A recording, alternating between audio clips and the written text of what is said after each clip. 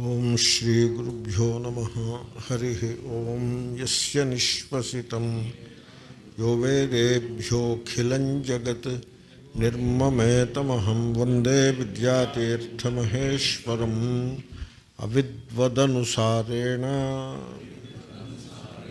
వృత్తిర్బుద్ధస్య యుజ్యతే స్తనంధయానుసారేణ వర్తతే తత్పితాయత. జ్ఞాని యొక్క ప్రవర్తన ఎలా ఉంటుంది ఈ లోకంలో అన్నది. చాలామంది ఒక టాపిక్ని సరిగ్గా పట్టించుకోరు. అదేమంటే రిలేషన్షిప్. ఇప్పుడు జ్ఞానికి జ్ఞానోదయమైనది అని మనం చెప్తాం. అలా జనరల్గా చెప్తారు. జ్ఞానోదయమైంది ఆయన మహాజ్ఞాని అంటే గొప్ప జ్ఞానము గలవాడు అని చెప్తారు తప్ప ఆ జ్ఞానము దేని గురించి? జ్ఞానం ఆఫ్ వాట్? ఆయన enlightened enlightenment. Enlightened about what? అది తెలియాలా అక్కర్లేదా? అదేమిటో చెప్పరు. ఆయనకి జ్ఞానోదయం అయిందంటే జ్ఞానము అంటే జ్ఞానం అంతే దేని జ్ఞానం ఎలాంటి జ్ఞానం ఎట్టి జ్ఞానం ఎందుకు జ్ఞానం అవేమీ ఉండదు. సో జ్ఞానోదయం అయింది నేను జ్ఞానిని. కాబట్టి మీరందరూ నా దగ్గరికి రండి అంటూ ఇలాగేదో నడుస్తూ ఉంటుంది లోకంలో. అసలు జ్ఞానం అంటే ఏమిటి? దేని యొక్క జ్ఞానము? అది స్పష్టంగా చెప్పాలి కదా. ఆ జ్ఞాన ఆ జ్ఞాని యొక్క జ్ఞానము యొక్క స్వరూప స్వభావాలను వర్ణిస్తూ ఉన్నారు ఇక్కడ. సాధారణంగా జ్ఞాని అవునా కాదా అనే విషయంలో మీకు నిర్ధారణ రిలేషన్షిప్లో అవుతుంది. Life is relationship. రిలేషన్షిప్ లేకుండా లైఫ్ ఉండదు. మీరు సిటీలో ఉన్న రిలేషన్షిప్స్ ఉంటాయి విలేజ్లో ఉన్న ఉంటాయి. హిమాలయాస్కి వెళ్ళిపోయి ఎక్కడికైనా కొండల్లోనో కోనల్లోనో ఉన్నారనుకోండి అక్కడ కూడా మీకు రిలేషన్షిప్ ఉంటుంది. నేను ఒక డాక్యుమెంటరీ చూశాను. ఎవడో ఒక అమెరికన్ లేకపోతే యూరోపియన్ ఒక మౌని బాబాని వెతుక్కుంటూ హిమాలయాల్లో పయనిస్తాడు. ఆయన ఎవరికి అందుబాటులో లేకుండా ఎక్కడో చాలా remote corner of the mountain పీక్స్లో ఎక్కడో ఉంటూ ఉంటాడు ఆయన. ఆయనకి ఎలా వెళ్ళాలి ఆ దారి ఏమిటి అంటే ఫుట్పాత్ ఉంటుంది. ఆ ఫుట్పాత్లు మళ్ళీ డివైడ్ అవుతూ ఉంటాయి.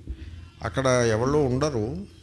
అక్కడ ఎవరినైనా అడిగి ఎవరిని ఇటు వెళ్ళాలా అటు వెళ్ళాలా అని అతి కష్టం మీద వీడు ఆ మౌని బాబా ఉన్న గుహకి చేరుకుంటాడు. ఆ చేరుకోవడానికి ముందు కొన్ని కాషాయపు వస్త్రములు చెట్లకి కట్టి ఉంటాయి. కాబట్టి ఆయన దగ్గరలో ఉన్నాడని ఒక సూచన. ఆ తర్వాత చిన్న క్రీక్ వాటర్ ఫాల్ ఏదో చిన్నది ఒకటి ఉంటుంది. అంటే బాబా కూడా నీళ్ళు ఉన్న చోటకి దగ్గరలో ఉండాలి కదా. నీళ్ళు లేకపోతే ఎక్కడ కుదురుతుంది? కాబట్టి ఆ విధంగా ఆ క్రీక్ని బట్టి ఈయన దగ్గరలో ఉన్నాడు అని ఊహిస్తాడు ఇతను. అలాగే ఆ కాషాయం వస్త్రాలని బట్టి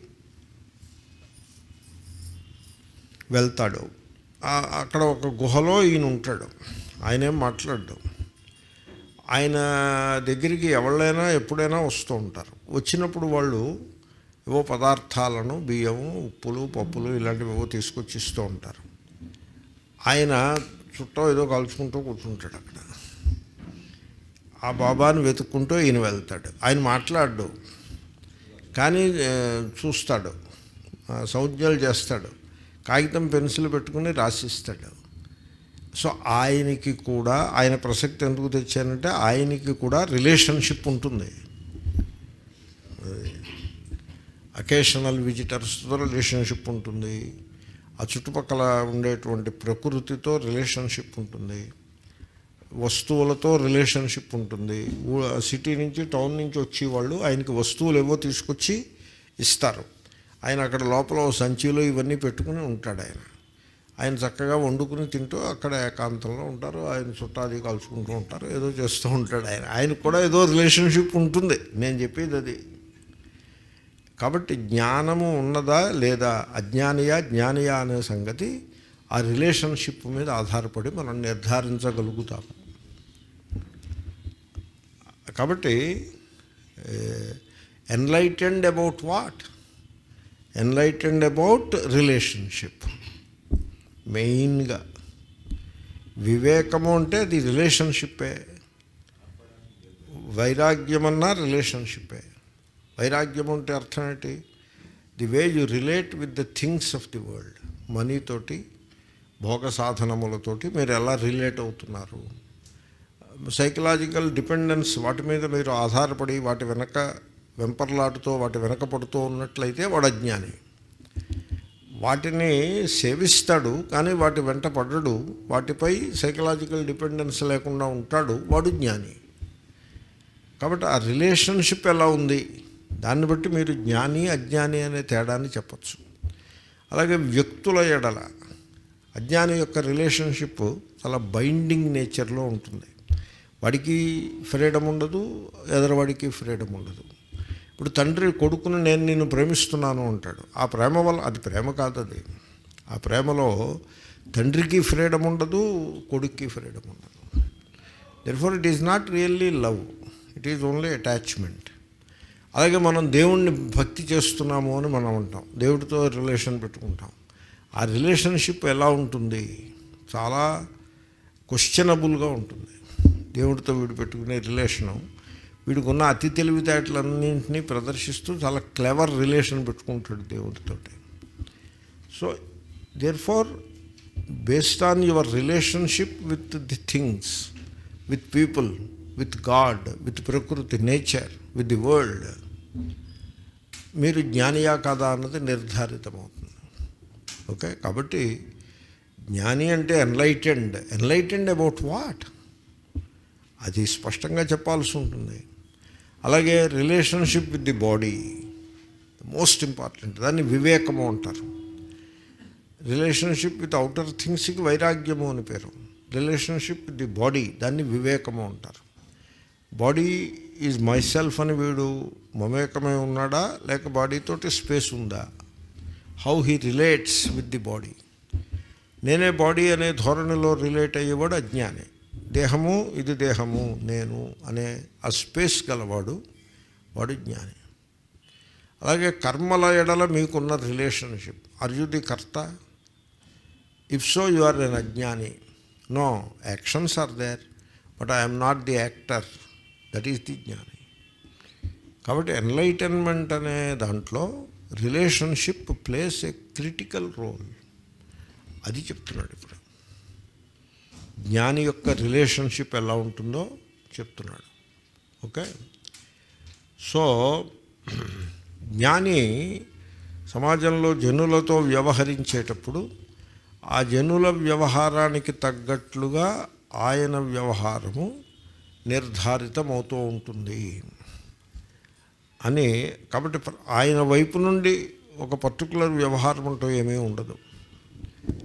జ్ఞానితోటి జనులు పెట్టుకునే రిలేషన్షిప్కి తగ్గట్టుగా ఆయన రెస్పాన్స్ అవుతూ ఉంటారు. From his side there is no specific relationship with anybody అని చెప్తున్నారు. ఇది జ్ఞాన యొక్క స్వభావము అట్టిది. అది ఈ శ్లోకంలో మనం చూస్తున్నాము శ్లోకం ఒకసారి అందాము. అవిద్వదనుసారేణ వృత్తిర్బుద్ధస్య యుజ్యతే. స్తనంధయానుసారేణ వర్తతే తత్పితాయత అవిద్వదనుసారేణ వృత్తి బుద్ధస్య యుజ్యతే స్తనంధయానుసారేణ వర్తతే తత్పిత యత. అదే. బుద్ధస్య జ్ఞాని యొక్క వృత్తి ప్రవృత్తి అవిద్వదనుసారేణ. అజ్ఞానులను అనుసరించేదిగా యుజ్యతే యుక్తముగా నుండును అది. జ్ఞాని యొక్క ప్రవృత్తి ఎప్పుడూ యుక్తముగా ఉంటుంది. యుక్తముగా అంటే సరిగ్గా ఉంటుంది కరెక్ట్గా ఉంటుంది. కరెక్ట్ అనేది ఎలాగా? ప్రవృత్తి అంటే రిలేషన్షిప్ కదా. రిలేషన్షిప్ ఉంటుంది కదా. ఆ రిలేషన్షిప్లో పెర్సన్ తీసుకోండి అవతలవాడు అవతలవాడు అజ్ఞాని అయి ఉంటాడు. జ్ఞానులు చాలా అరుదుగా ఉంటారు కదా. అజ్ఞానం అనుకోండి అవతలవాడు అజ్ఞానం అనుకోండి వాడి యొక్క ప్రవృత్తికి అనురూపముగా వాడి ప్రవృత్తిని అనుసరించేదిగా జ్ఞాని యొక్క ప్రవృత్తి ఉంటుంది. వాడు అవతలవాడు స్థుతించాడు అనుకోండి జ్ఞాని పొంగిపోకుండగా ఓ చిరునవ్వు నవ్వి ఊరుకుంటాడు. అవతలవాడు తిట్టాడు అనుకోండి జ్ఞాని ఆశీర్వచనం చేసి వాడికి దూరంగా పోతాడు. చూసారా? ఆ కింద శ్లోకాల్లో చెప్పబోతున్నాడు అన్నమాట తుల్య నిందాస్తుతి అని ఉంది గీతలో. ఆ లెక్కలో ఉంటాడు. ఒకడు నిందించేవాడు ఉంటాడు. వాడి ఎడల స్తుతించి వాని ఎడల ఇద్దరి ఎడల సమానమైన ప్రేమను చూపిస్తూ ఉంటాడు. కాబట్టి జ్ఞాని యొక్క ప్రవృత్తి ఆయన వైపు నుంచి ఇదమిత్తంగా నిర్ధారితమై ఉండదు. అజ్ఞానులు అలా ఉంటారు. అజ్ఞానులు స్వపర భేదం పెట్టుకుంటారు. వీడు నావాడు వీడు పైవాడు. నావాడి ఏడలా ప్రేమగా ఉండాలి. పైవాడిని మనం ఉపేక్ష చేసినా పర్లేదు. వీడి మిత్రుడు వీడి శత్రువు అని తన వైపు నుండి ఒక ఎజెండాతోటి ఇతరులతో వ్యవహరించేవాడు అజ్ఞాని. తన వైపు నుండి ఎట్టి ఎజెండా లేకుండగా కేవలము అజ్ఞాని ఎవరితో రిలేట్ అవుతున్నాడో వాడి ఎజెండాకి తగ్గట్టుగా వ్యవహరించేటువంటి ప్రవృత్తి జ్ఞానికి ఉంటుంది. Interesting point. ఓకే? దీనికి ఒక దృష్టాంతం ఒకటి చెప్పారు. యత ఎందువలననగా స్తనంధ తత్పిత ఆ పిల్లవాని యొక్క తండ్రి స్తనంధయానుసారేణ పాలు త్రాగే పిల్లవాని ప్రవృత్తిని అనుసరించుటచే అనుసరించేదిగా వర్తతే ఉండును. ఇప్పుడు తండ్రి ఉన్నాడు అనుకోండి తండ్రి పిల్లవాడు ఉన్నాడు పాలు తాగే పిల్లవాడు అంటే అడ్డాలలా పెట్టడనో ఏదో అంటారు చూడండి ఆ పిల్లవాడు ఉంటాడు. ఆ పిల్లవాడు తండ్రిని తన్నాడు అనుకోండి తండ్రి ఏం చేస్తాడు? మళ్ళీ తిరిగి తన్నుతాడా? లేదా కోప్పడతాడా? కోప్పడ్డం. ప్రేమగానే చూస్తాడు. ఆ పిల్లవాడు తండ్రిని చూసి నవ్వి దగ్గరికి ప్రేమగా చేతులు ఊపుతూ వచ్చాడు అనుకోండి అప్పుడు కూడా ప్రేమగానే చూస్తాడు. అంతే తప్ప పిల్లవాడి ప్రవృత్తి మారింది కదా అని తండ్రి ప్రవృత్తి మారదు. ఎందుకంటే వాడు పాలు తాగి పిల్లవాడు వాడికి తెలియదు కదా. అలాగే సంసారంలో ఉండే జనులు వీళ్ళు అజ్ఞానులు. ఈ పాలు తాగే పిల్లలు ఎంత అజ్ఞానులో జనులు కూడా అంతే అజ్ఞానులు. వాడు ఒకసారి పోగొడతాడు. పొగిడినప్పుడు పొంగిపోతే మళ్ళీ వాడే తిరగబడి తిడతాడు. తిట్టినప్పుడు కృంగిపోతే ఆ విధంగా జ్ఞానికి స- జ్ఞానమే దాన్ని జ్ఞానం అనరు. దట్ ఈజ్ నాట్ మోక్ష. కాబట్టి జ్ఞాని యొక్క ప్రవృత్తి ఇదమిత్తంగా నిర్ధారించేదిగా ఉండదు. జ్ఞానితో వ్యవహరించే అజ్ఞానుల యొక్క ప్రవృత్తికి తగ్గట్టుగా ఉంటుంది. అది శ్లోకం.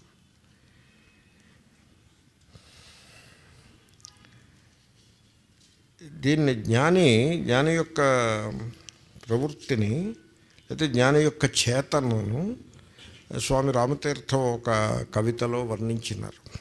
ఆ కవిత పేరు ఐఆమ్ దట్ అని. ఇక్కడ అభిప్రాయం ఏమంటే లోకంలో మనకి ఆస్తికులు నాస్తికులు అని ఇద్దరు కనపడతారు. ఆస్తికులు అంటే ఎవరు? పైన ఎక్కడో దేవుడు మనం నమ్మేటువంటి దేవుడు ఎక్కడో ఉంటాడు. హెవెన్ కానీ ప్యారడైజ్ కానీ కైలాసం కానీ వైకుంఠం కానీ. ఈ మధ్యకాలంలో గోలోకము ఇలాంటివి కొన్ని మొదలుపెట్టారు అక్కడ కానీ ఎక్కడో ఉంటాడు. ఆయన దేవుడు ఆయన సృష్టించాడు ఆయన రక్షిస్తాడు ఆయన పూజిస్తే కోరికలు తీరుస్తాడు అంటూ అలాగ ఉంటారు వీళ్ళు. వీళ్ళకి ఆస్తికులు అని పేరు. అవి అలాంటిది ఏం లేదా అక్కడెక్కడో ఎవడో ఉండడం ఏమిటి? ఏమైనా అర్థం ఉందా? చూపించు. ఉంటే ఉంటే చూపించు. ఏది ఉందో అది కనపడాలి కదా అని ఆర్గ్యూ చేస్తూ దీనిని పూర్తిగా నిరసించే వాళ్ళు నాస్తికులు. ఇప్పుడు ఇక్కడ మనం జ్ఞానము అని అంటున్నాము. జ్ఞాని ఈ జ్ఞాని ఆస్తికుడా నాస్తికుడా? రెండూ కాదు. రెండూ కాదు. ఇక్కడ సమస్య వస్తుంది. జ్ఞాని యొక్క జ్ఞానికి ఈశ్వరుని విషయంలో జ్ఞాని యొక్క రిలేషన్షిప్ ఏ విధంగా ఉంటుంది? అజ్ఞాని యొక్క రిలేషన్ ఎలా ఉంటుందో మనకు తెలుసు. అజ్ఞానంలో కొందరు ఆస్తికులుగా ఉంటారు మరికొందరు నాస్తికులుగా ఉంటారు. That is how they relate to God okay జ్ఞాని రిలేషన్ ఏమిటి? అంటే ఇప్పుడు చూడండి అసలు జ్ఞాని యొక్క ఎన్లైటన్మెంట్లో ఈశ్వరుని గురించినటువంటి జ్ఞానము ఈ విధంగా ఉంటుంది. అది enlightenment. Enlightenment about God which is same as enlightenment about self also ఇప్పుడు ఒక చేతన ఉంటుంది కాన్షియస్నెస్ అది ప్రతి మనిషిలోనూ ఉంటుంది వాస్తవంలో ప్రతి ప్రాణి ఎందు ఉంటుంది కాన్షియస్నెస్ కాన్షియస్నెస్ ఉండబట్టే we become conscious of things ఆ ఎరుక మన ఎందు ఉండబట్టే మనకి అన్నీ తెలుస్తూ ఉంటాయి మనం అన్నింటినీ ఎరుంగుతూ ఉంటాం. ఎందుకని? ఎరుక మన ఎందు ఉండబట్టి. ఆ కాన్షియస్నెస్ యొక్క స్వరూప స్వభావాలను బట్టి వాడి జ్ఞానియా కాదా అని మనం చెప్పచ్చు. సో ఆ కాన్షియస్నెస్లో ఫలానా ఫలానా దోషములు ఉన్నట్లయితే వాడు సంసారి. కామక్రోధ లోభమోహాది దోషములు ఉన్నట్లయితే అలాగే పరిచ్ఛేదము దేహ పరిచ్ఛే దేహాన్ని బట్టి నేను దేహం అనుకోవడం చేత దేశ పరిచ్ఛేదం వస్తుంది. నేనే మనస్సు అనుకోవడం చేత కాల పరిచ్ఛేదం వస్తుంది. ఇటువంటి రెండు దేశకాల పరిచ్ఛేదములు తన ఎందు ఆరోపించుకుని తద్వారా తన ఎందు అల్పత్వమును సుఖదుఖములను చావు పుట్టుక చావులను మొదలైన వాటిని తన ఎందు ఆరోపించుకుంటూ ఉంటాడు మనిషి. అటువంటి చేతన అది అజ్ఞాని యొక్క చేతన. వాడు అజ్ఞాని దేవుడు అనేవాడు ఎక్కడో చోట కూర్చుని ఉంటాడు అని వీడు కల్పించుకుంటాడు. ఇది అజ్ఞాని యొక్క మతం అలా ఉంటుంది. జ్ఞాని యొక్క చేతన ఎలా ఉంటుంది? దాని ఎందు కామక్రోధాది దోషములు ఏమీ ఉండవు. దేహమునందు మమకారము అహంకారము ఉండదు. అంటే దేశ పరిచ్ఛేదం లేదు. మనస్సు ఎడల కూడా సాక్షిత్వమే ఉంటుంది. అంటే కాల పరిచ్ఛేదము లేదు. అంటే జ్ఞాని యొక్క చేతన స్వపరభేదము దేశకాల పరిచ్ఛేదములు కామక్రోధాది దోషములు ఇతర తాదాత్మ్యములు self identifications and self definitions అనేవి ఏమీ లేకుండా ఉంటుంది ఆ చేతన? ఆ చేతనకే దేవుడిని పేరు. అదే దేవుడు అంటే ఇంకా అంతకంటే దేవుడు వేరే ఏమీ ఉండడు. దేశకాల అంతకంటే ఉండే అవకాశం ఉన్నదా? ఏ చే ఏ చైతన్యమైతే దేశకాల పరిచ్ఛేదములకు అతీతమో దేని ఎందు కామక్రోధాది దోషములు లేవో దాన్నే దేవుడు అనాల్సి ఉంటుంది. ఇంకా దేవుడు అంటే ఇంకా ఇంకెక్కడి నుంచి వస్తాడు దేవుడు? ఏ దేవుడు వస్తాడు? ఇదే దేవుడు. కాబట్టి జ్ఞాని యొక్క చేతనయే దేవుడు. కాబట్టి జ్ఞాని యొక్క రిలేషన్షిప్ విత్ గాడ్ ఆస్తికుల యొక్క రిలేషన్షిప్ లాగా ఉండదు నాస్తికుల రిలేషన్షిప్ లాగా కూడా ఉండదు. ఈ విషన్ దేన్ని ఈ విషన్ననంతని కూడా చెప్పేటువంటి మాట ఏమిటో తెలుసిన? ఐ ఆమ్ దాట్ సోహం. లేకపోతే శివోహం. ఇది రామతీర్థ యొక్క కవిత. ఐ ఆమ్ దాట్ ఆయన అంటాడు I have no scruple of change scruple అంటే concern about change nor fear of death నాకు దేహంలోనో సమాజంలోనో వచ్చే మార్పుల ఎడల బెంగ లేదు. చచ్చిపోతానేమోననే భయం లేదు. నార్ వాజ్ ఐ ఎవర్ బోర్న్ నేను ఎప్పుడు పుట్టనే లేదు అసలు. నార్ హ్యాడ్ ఐ పేరెంట్స్ నాకు ఫలానా సెట్ ఆఫ్ తల్లిదండ్రులు అంటూ ఏమీ లేదు అని అంటాడు. చూడండి నేను ఒక సెట్ ఆఫ్ పేరెంట్స్కి ఒక దేశంలో ఒక స్థానంలో ఒక చోట ఒక కాలంలో పుట్టాను అనుకున్నవాడు అనే నిశ్చయంలో ఉన్నవాడు వాడు పదేళ్ళు కాదు వెయ్యి సంవత్సరాలు వేదాంతం చదివినా వాడు అజ్ఞానంలోనే మిగిలి ఉంటాడు. అసలు కొన్ని బేసిక్స్ని మీరు అర్థం చేసుకోవాల్సి ఉంటుంది this is enlightenment. This is the how the enlightenment appears. కాబట్టి నాకు అసలు పుట్టుక లేదు చావు ఉండబోదు. అంటే దేహతాదాత్మ్యం అనేది సుతరాము ఉండదు.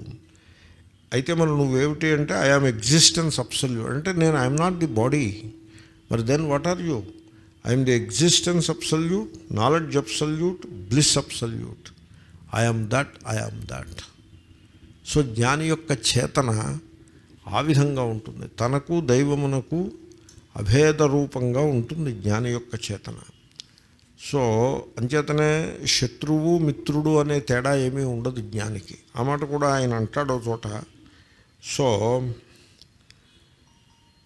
I cause no misery nor am I miserable I have no enemy nor am I enemy I'm existence absolute knowledge absolute bliss absolute I'm that I'm that అని అంటాడు.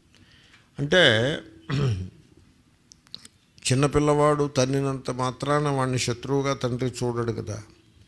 ఆ రకంగా. ఆ కింద ఇచ్చిన దృష్టాంతాలు కూడా అవే.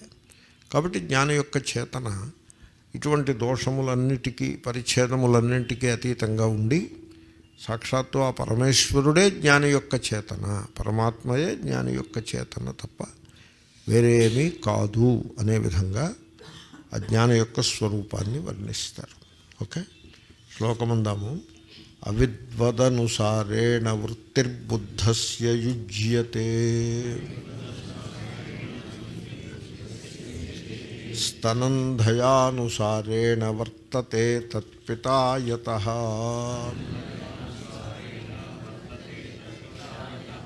కృతకృత్యతయా తృప్త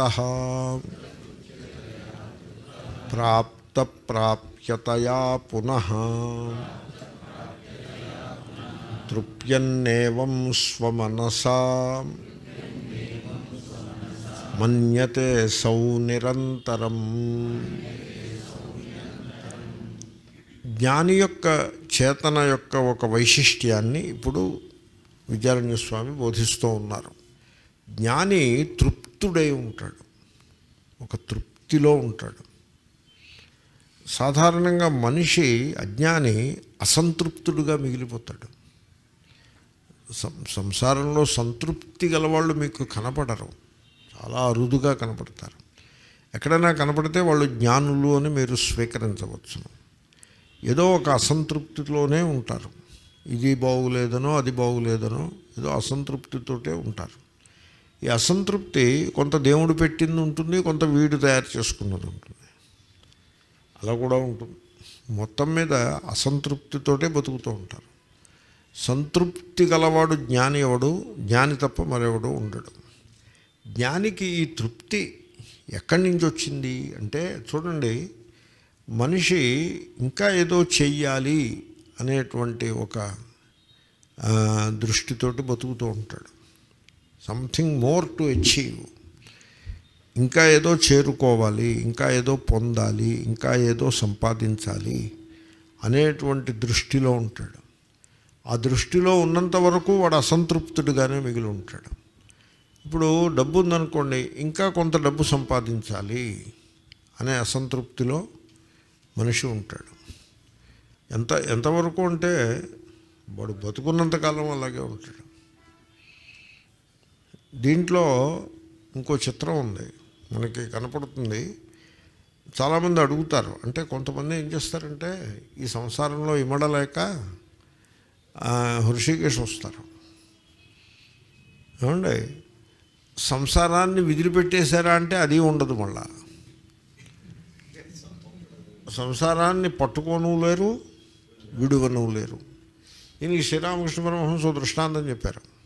ఆయన ఎక్కడికో పొద్దున్నే బయలుదేరి ఆ పల్లెటూళ్ళలో ఆ తోట గట్టులు చే- చేల వరి చేల గట్టులు దాటుకుంటూ వెళ్తున్నారు. వెళ్తుంటే ఆయనకి ఆ గట్టు పక్కనే చిన్న కాలం ఉంటుంది. కాలంలో నీరు ప్రవహిస్తూ చేలోకి నీరు వెళ్తూ ఉంటుంది. ఆ కాలంలో నీటి పాము ఒకటి కనపడుతుంది ఆయనకి.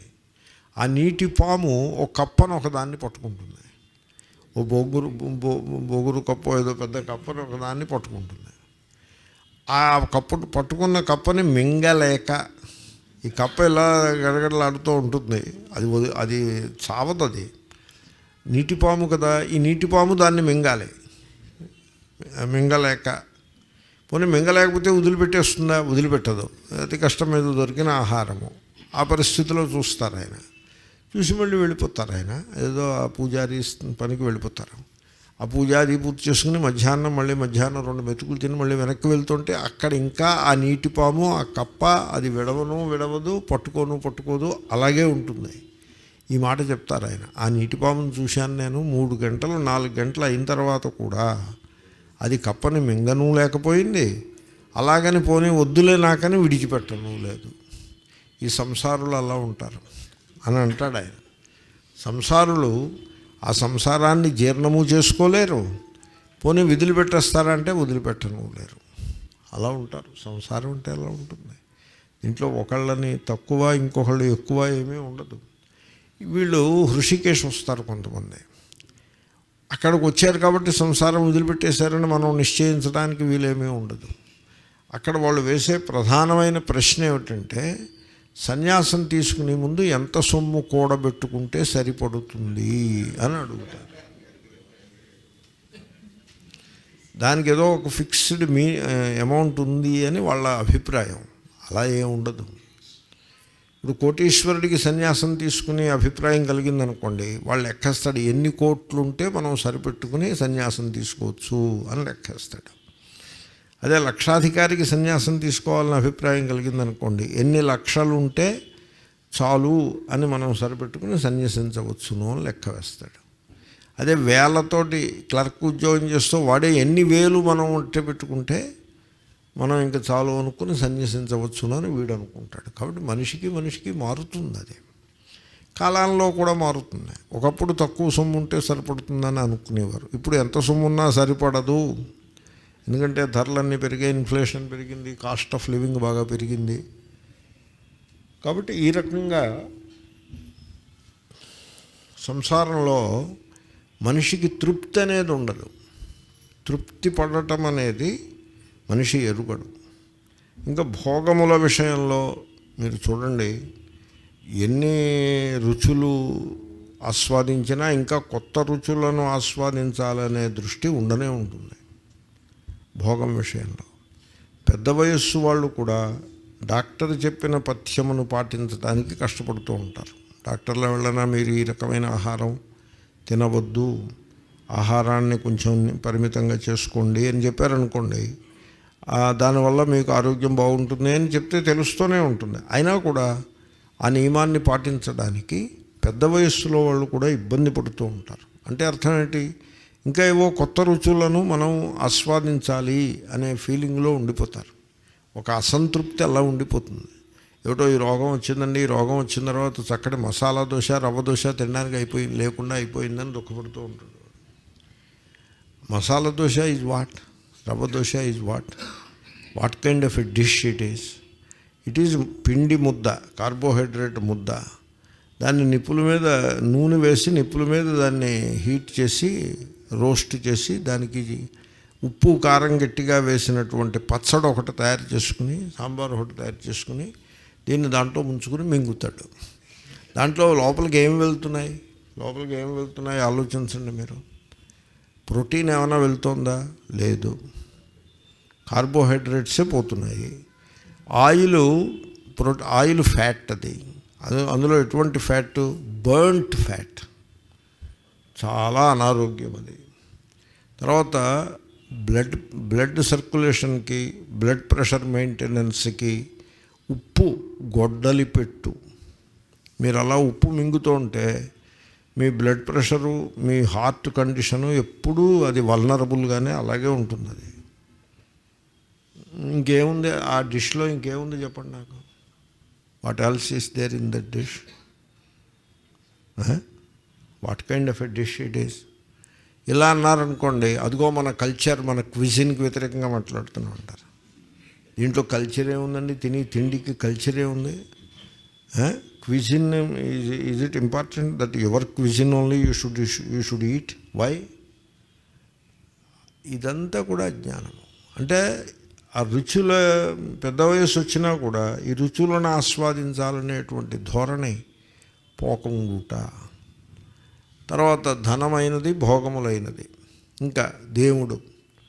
దేవుడు చూడండి మీరు ఆలోచించండి. వీడు ఎన్ని ఎన్ని దేవుళ్ళని కొలిస్తే వీడికి తృప్తి కలుగుతుంది? చెప్పండి మీరు. మీకు స్టాండర్డ్ ఎగ్జాంపుల్ నేను చెప్తాను. మీరు ఆ ఎగ్జాంపుల్ సరైందని మీరు అంటే మరి అంటారో అనరో నేను ఎరగను. సంపూర్ణ ఉత్తర భారతదేశ యాత్ర అని ఉంటుంది. దాని ఆ యాత్ర యొక్క అర్థం ఏమిటి? దా దాని స్ట్రక్చర్ ఆ రకంగా దాన్ని నిర్మాణం చేసి పెట్టారు కదా. ఎవరో ఒకళ్ళు కన్సీవ్ చేశాడు కదా. ఆ కాన్సెప్షన్ వెనక ఉన్న థీసిస్ ఏమిటో తెలుసిన? ఈ భక్తులు ఉన్నారే వీళ్ళకి ఇద్దరినో ముగ్గురినో నలుగురినో దేవతల్ని పూజిస్తే వాళ్ళకి సంతృప్తి ఉండదు. వాళ్ళకు పది పదిహేను దేవతల్ని పూజింపజేస్తే వాళ్ళ జేబులో డబ్బులు వాళ్ళు ఇస్తారు. లేకపోతే ఇవ్వరు. పట్టు కూర్చుంటారు అంచేత వాళ్ళని ఆకర్షించి వాళ్ళ జేబులో డబ్బులు రావాలి అంటే బిజినెస్ మ్యాన్కి. వాడు ఏం చేయాలి? మీకు సంపూర్ణ ఉత్తర భారతదేశ యాత్ర అని పెట్టి అని లిస్ట్ ఇస్తాడు. ముందు పూరి వెళ్ళి సాక్షి గణపతిని దర్శిస్తావు. తర్వాత కోణార్క్ వెళ్ళి సూర్యుడిని దర్శిస్తావు. తర్వాత భువనేశ్వర్ వెళ్ళి లింగరాజుని దర్శిస్తావు. తర్వాత కలకత్తా వెళ్ళి కాళీని దర్శిస్తావు అని ఇలాగా ఒక పదిహేను లిస్ట్ ఇస్తాడు. ఇస్తే వీడు చూసి అమ్మ బాబోయ్ లింగరాజుని చూసేస్తాం కాళీదేవతను చూసేస్తాం దుర్గాదేవతను చూసేస్తాం శివుణ్ణి చూసేస్తాం విష్ణువుని చూసేస్తాం అనుకుంటాడు వీడు. అనుకుని ఆ టికెట్ కొనేస్తాడు. అన్ని దేవుళ్ళని చూసి ఇంటికి వచ్చి ఇంకా చూడాల్సిన దేవుళ్ళు ఏమైనా ఉన్నాయా? సౌత్లో మిగిలిపోయారు కదా దేవుళ్ళు. నార్త్ దేవుళ్ళు అయ్యారు సౌత్ దేవుళ్ళు కాలేదు కదా. నెక్స్ట్ ఇయర్ సంపూర్ణ దక్షిణ భారతదేశ యాత్రకి పోతాడు.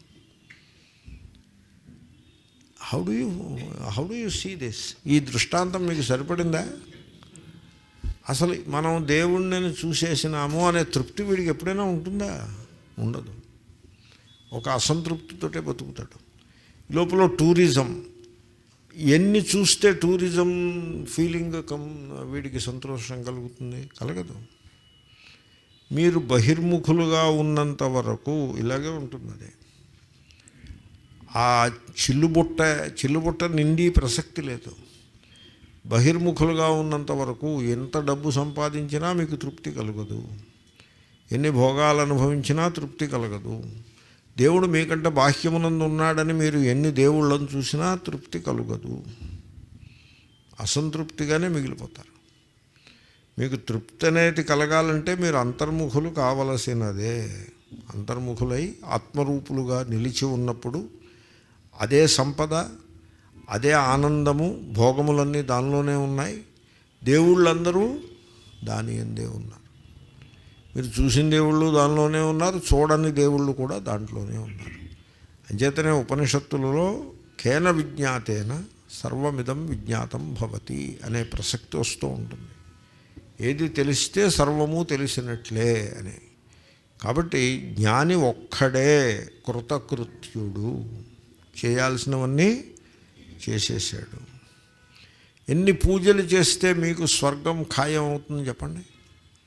ఎన్ని పూజలు చేస్తే ఎన్ని నదుల్లో స్నానం చేస్తే మీకు పాపాలు పూర్తిగా పోతాయి? పుణ్యాన్ని మూట కట్టుకోగలుగుతారు. ఎన్ని నదుల్లో ఎంత ఎన్ని టన్నుల పుణ్యం మూట కట్టుకుంటే సరిపడుతుంది? అది చెప్పండి. దానికి ఏమీ ఒక హద్దు ఏమీ ఉండదు. అది బాహ్య దృష్టి ఉన్నంత వరకు ఎంత పుణ్యం మూట కట్టినా ఇంకా తక్కువనే అనిపిస్తుంది. ఇంకా పుణ్యం మూట కట్టాల్సిందే. ఆ బాహ్య దృష్టిలో ఉన్న దోషం అది. ఎప్పుడైతే బాహ్య దృష్టి తొలగి మనిషి అంతర్ముఖుడవుతాడో వాడికి కృతకృత్య అనే ఫీలింగ్ వస్తుంది. నేను చేయాల్సినవన్నీ చేసేసాను. పొందాల్సినవన్నీ పొందేశాను. ఎప్పుడైతే ఆ అంతర్దృష్టి వల్ల కృతకృత్యత పొందదగినవన్నీ పొందినాను అనే అనే అనే ఎన్లైటన్మెంట్ అనే అనుభవము వాడికి కలుగుతుందో వాడు ఒక రకమైన తృప్తిని అనుభవిస్తాడు. అది జ్ఞాని యొక్క లక్షణము. ఆ సంతృప్తిని అనుభవమునకు తెచ్చుకునుట. That is the enlightenment that is the enlightenment enlightenment అంటే వీళ్ళు ఏమనుకుంటారంటే ఆ శివుడు ఎప్పుడో ఎవడో ఒక ఆయన వృద్ధ బ్రాహ్మణుని వేషంలో వచ్చి వీడు ముందు కనబడ్డాడని అనుకుంటాడు. వృద్ధ బ్రాహ్మణుని వేషంలో రావడం ఎందుకు? శివుడు శివుడు వేషంలోనే రావచ్చుగా? కాబట్టి దీనికి ఇదేమీ అర్థం లేని మాట ఇది. అనే అది కాదు ఎన్లైటన్మెంట్ అంటే. ఎన్లైటన్మెంట్ అంటే you feel a tremendous sense of fulfilment మీకు హృదయంలో మీకు అది అనుభవానికి వస్తుంది.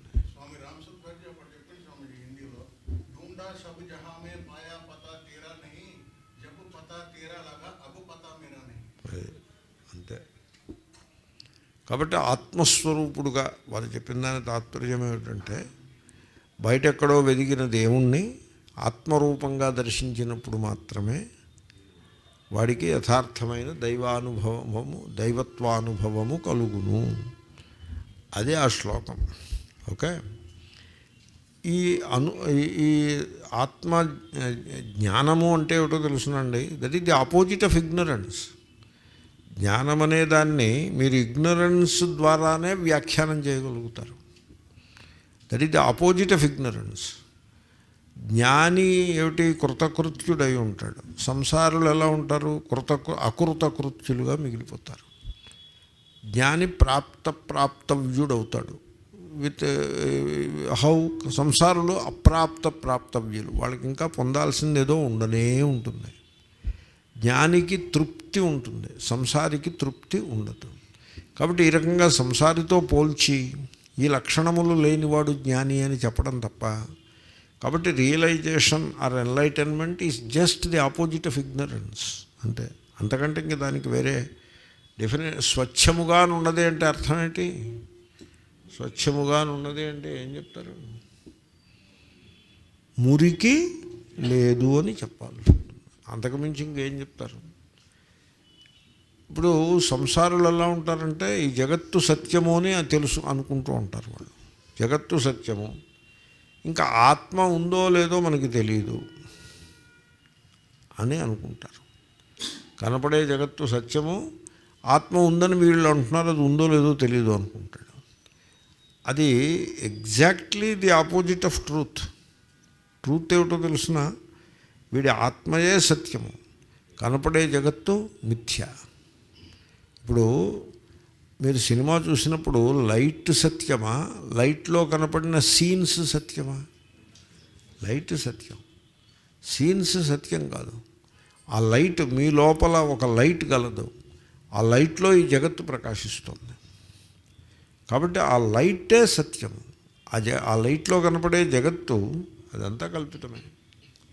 ఇప్పుడు that is the rule. Rule అది law of nature. Wherever you have a light and something illuminated in that light wherever that light alone is the truth what is illuminated is unreal అది that is the లా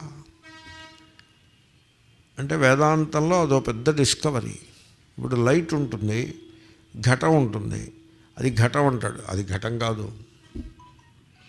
ఘటం అని నీ అభిప్రాయం నీ interpretation ఘటం అన్నది your interpretation okay? Light నువ్వు సూర్యకాంతి ఉన్నది చూసావు అది ఖాయం. దట్ ఈస్ ద ట్రూత్ దాని చేత రిఫ్లెక్ట్ అయిన లైట్ నువ్వు చూసినావు దట్ ఈస్ ట్రూ అది ఘటము అన్నది తప్పు. కాబట్టి లైట్ ఎలోన్ ఈజ్ రియల్ అలాగే మీ లోపల చైతన్యం ఏది గలదో అదే సత్యము. ఆ ఎరుకలో ప్రకాశించే జగత్తంతా కూడా మిథ్యయే. ఈ సత్యమును జ్ఞాని మాత్రమే ఎరుంగును. వేరే అజ్ఞాని ఉల్టా వాడికి కనపడే జగత్తు సత్యం. ఆ జగత్తు కనపడటానికి మూలమునందుండే ఎరుక ఆత్మ అది అసలు ఉందా లేదా అనే సందర్భంలో ఉంటాడు. కాబట్టి ఆ ఆత్మ ఒక్కటియే సత్యము. ఎవ్రీథింగ్ ఎల్స్ ఈజ్ అన్రియల్ అనే విషయాన్ని ఎవడైతే తెలుసుకుంటాడో వాడు ఒక శాంతి ఎందు ఒక తృప్తి ఎందు ఒక స్వేచ్ఛ ఎందు జీవిస్తూ ఉంటాడు. అది ఆ జ్ఞాని యొక్క స్వరూపము. చాలా simple. It is all very simple దీంట్లో డిఫికల్టీ ఏమీ లేదు. చూడండి మీరు you see things as they are instead of as imagined ఇప్పుడు మీరు యంగ్ మ్యాన్ ఉంటాడు. ఓ పాతికేళ్ళ వయస్సు గల కుర్రాడు ఒకడు యంగ్ మ్యాన్ ఉంటాడు. మీరు వాడిని ఎలా చూస్తారు? హీజ్ ఎ యంగ్ మ్యాన్ అన్నట్టుగా చూస్తారా? చూడరు. మీరు ఎలా చూస్తారు? హీజ్ మై సన్ అని చూస్తారు. Is he young man or is he your son చూడండి. ఇప్పుడు ఇప్పుడు నేను చెప్పిన దృష్టాంతాన్ని మీరు తలకాయ ఊపుతున్నారు నేను చెప్తున్నాను. But did you get it లేకపోతే ఈయన ఇలా చెప్తూ ఉంటాడు సరే పోలేదు చెప్పుకున్నాడు ఇంకో అరగంట సేపు ఏదో వాక్కుంటాడని నన్ను దయతో కరుణతో నన్ను విదిలిపెట్టేశారా? లేకపోతే డిడ్ యూ గెట్ ఇట్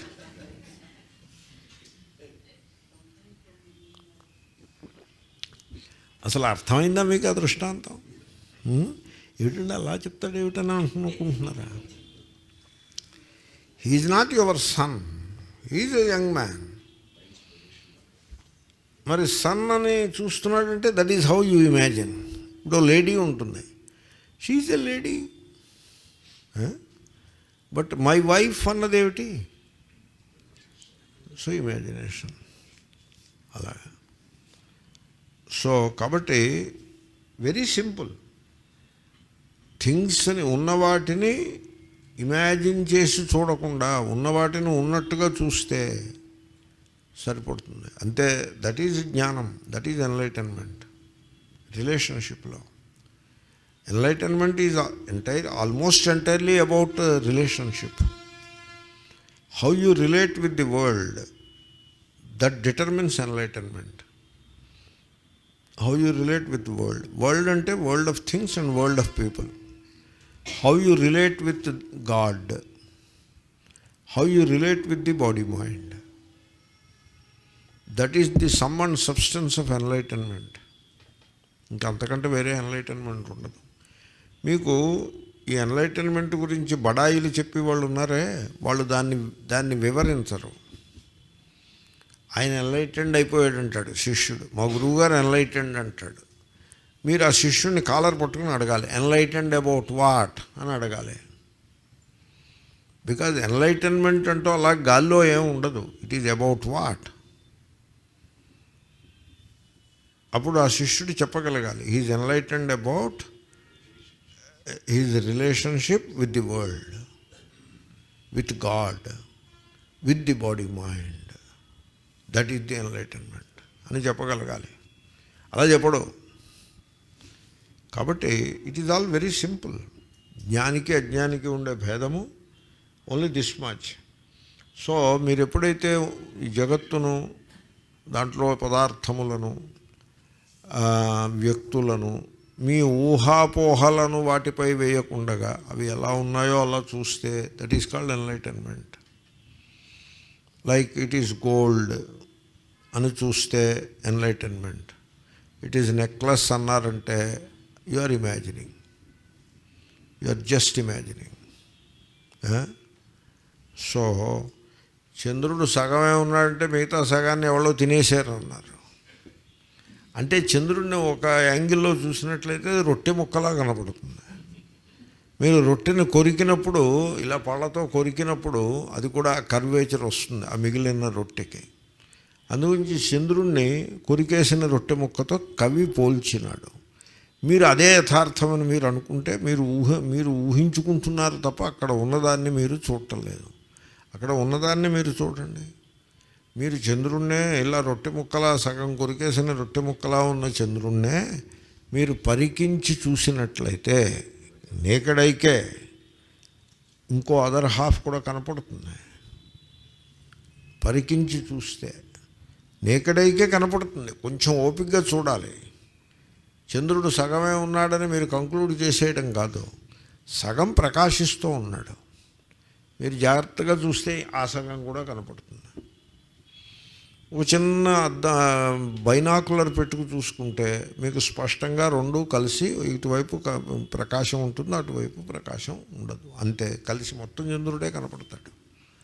కాబట్టి మీరేవో ఊహాపోహలు చేసుకుంటే ఏమైనట్టు అక్కడ ఉన్నదానిని ఉన్నట్టు చూచుట. వెరీ సింపుల్ ఉన్నదానిని ఉన్నట్లు చూచుట. దట్ ఈస్ ది ఎన్లైటన్మెంట్ ఎప్పుడైతే మీరు ఊహించడం మానేసి ఉన్నదానిని ఉన్నట్లుగా గ్రహిస్తారో అప్పుడు మీకు ఆ తృప్తి అసంతృప్తి తొలగిపోతుంది. మిగిలింది తృప్తి. ఇంకా ఏదో చేయాలి అనేటువంటి ఒక అసంతోషము తొలగిపోతుంది. మిగిలింది సంతోషం. ఆ విధంగా జ్ఞాని చాలా పూర్ణమైన స్థితిలో ఉంటాడు అని ఈ శ్లోకంలో చెప్తున్నారు. మళ్ళీ అందాము. కృతకృత్యతయా తృప్త ప్రాప్త ప్రాప్యతయా పునః తృప్యన్నేవం స్వమనసా మన్యతే సౌ నిరంతరం కృతకృత్యతయా తృప్త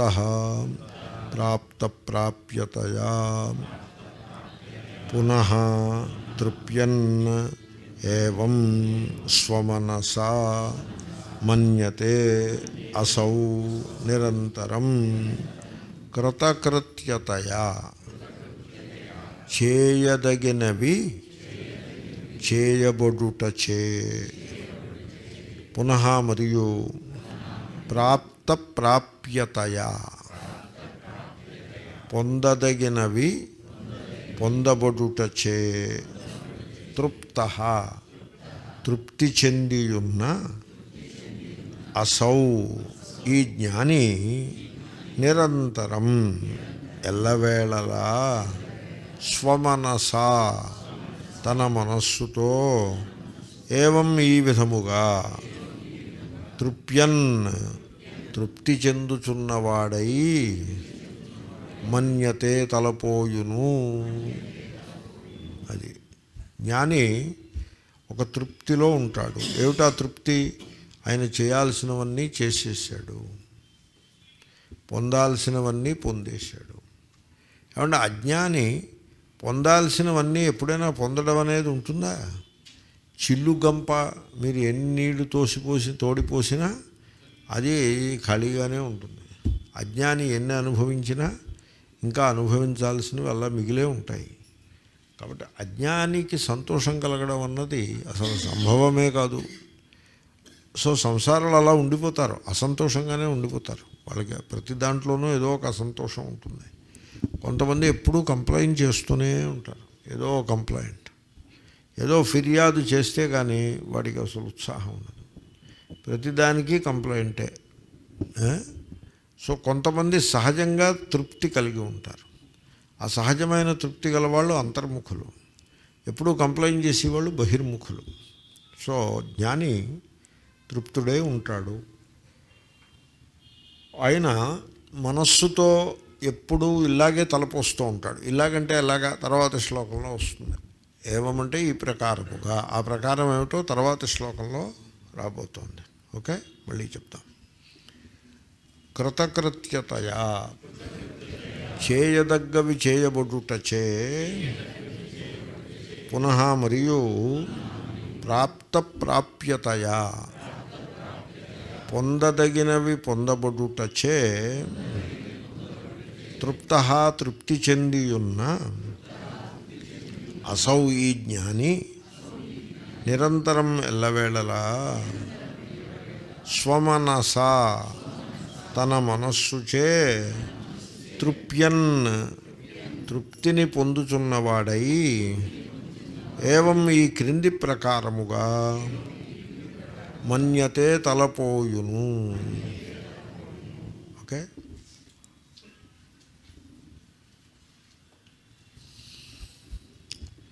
అన్వయం చెప్దాం. కృతకృత్యతయా తృప్త.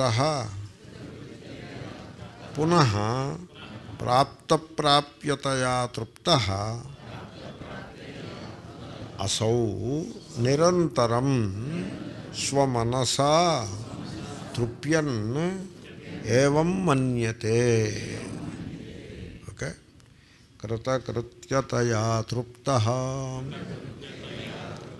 ప్రాప్తప్రాప్యతయా పునః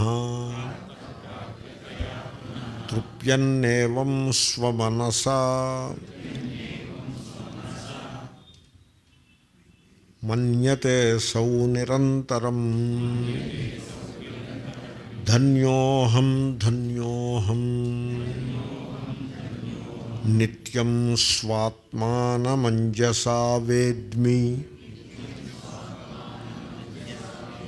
ధన్యోహం ధన్యోహం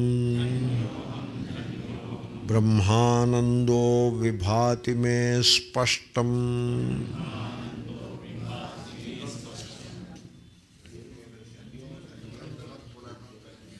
ఆహా అలా ఉందా?